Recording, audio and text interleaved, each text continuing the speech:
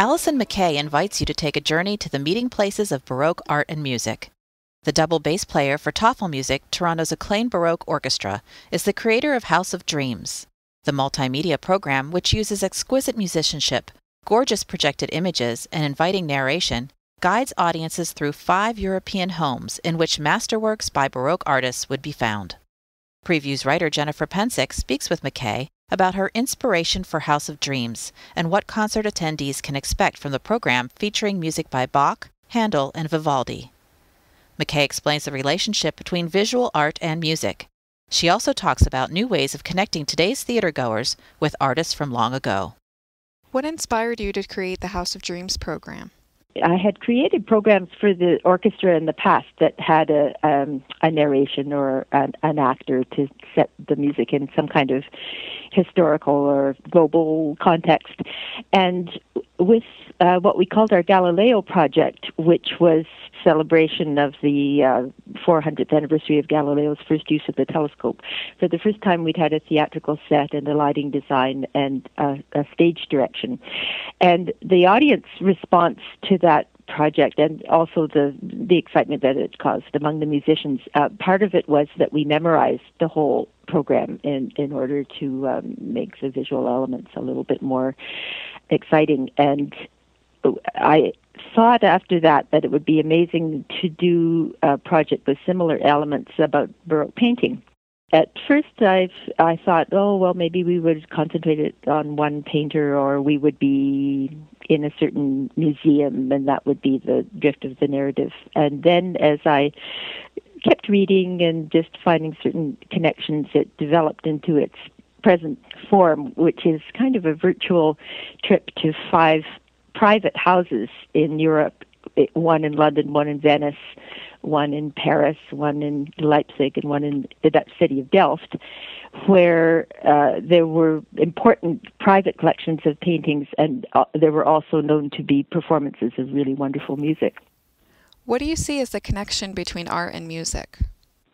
Yeah, I guess the relationship is on several levels, and in one way, um, it's a kind of aesthetic connection where it's amazing to think of a composer coming from the same world as a contemporary painter. And uh, the other thing is to try uh, to experiment with something which is really difficult at the moment, but to imagine what it would have been like to be a kind of ordinary person or an, an arts lover at the time to enrich the experience of listening to Baroque music by imagining um, seeing uh, paintings at the at the same time. Well, for people that you know are planning to go, but perhaps aren't entirely familiar with what they're actually going to be seeing and yes. hearing, can you describe a little bit? You know, because it's not your usual concert in a way. It's it's it's a lot of visual and you know listening. Yes. So um, it it in a way it's still very much a concert. It's uh, you know a concert length, and we we um, we do um, uh, wonderful music by um, by Handel, by Vivaldi uh, Purcell by Marin Marais, the great French viola da gamba player, um, by Bach and um, and and by Telemann. But each house is connected um, with pretty much with one painter that was originally featured in the house. And for instance, in the in the case of Handel, um, and in many cases we we don't know the exact uh, uh, paintings that that were in the house. We we can take a good guess at what they might have been like. In some cases, we have the exact estate inventory or the wills of people, and we know the exact paintings that were there. I should say that each of the five houses still exists in, in one way or another. Two are, are kind of house museums. One is an arts, uh, the, the Consul Smith House in Venice is now uh, the offices of an arts foundation that does um, kind of cutting edge exhibits in the in the Venice Biennale. Uh, one is the Palais Royal in Paris, and one is a, a pancake restaurant in in Delft. Be, because they all exist, we were able just over you know a, a year or two to um, set the project up up as an international collaboration with the organizations that now run each of the houses. And we were invited in each case to go and visit and, um, you know, take musicians if we would like, and to to do photographs of the of, of the rooms. And uh, of course, all of the paintings are now in museums. They're not in the houses anymore. But um, because we have wonderful high resolution um, images of, of the paintings and photographs of the rooms, we were able to put the paintings and the rooms back together to kind of recreate that experience. So the paintings that we've chosen in Handel's house are, are two beautiful scenes by Watteau of uh, featuring dancers from the, the world of opera and dance that uh, and uh, we know that Handel had two of these theater pieces in his house and we have a wonderful account uh, from the diary of, of Mrs. Delany, who was a neighbor and great friend of Handel's, that she had attended uh, rehearsal, the first read through of his opera Alcina. And Alcina featured a very famous dancer from Marie Sallé from the Paris Opera. So um, there are a lot of these um, little connections. If you can imagine being Handel's neighbor, it was quite common for neighbors and friends to be invited to um, opera rehearsals before the, the, the opera moved into the into the theater for, for big rehearsals.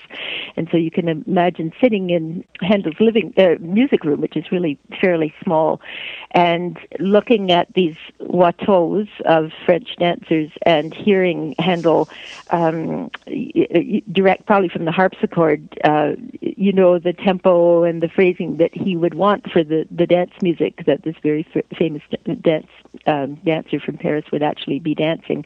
So there are a lot of levels of, of connection, although I think that the emotional impact of, of the basic combination of Handel and and the pictures and the narration is, is very, very direct and accessible to the to the audience previously you mentioned how um, the musicians will be performing the program from memory and yes. that that itself also adds a very important visual.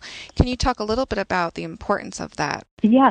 Well it's interesting because uh, uh, you, with these projects you know they've they've taken us um, very far afield now in our touring life and they they've become you know very important in in many ways but i in a way i think the most important thing to the artistic life of the orchestra has been has been memorizing the music.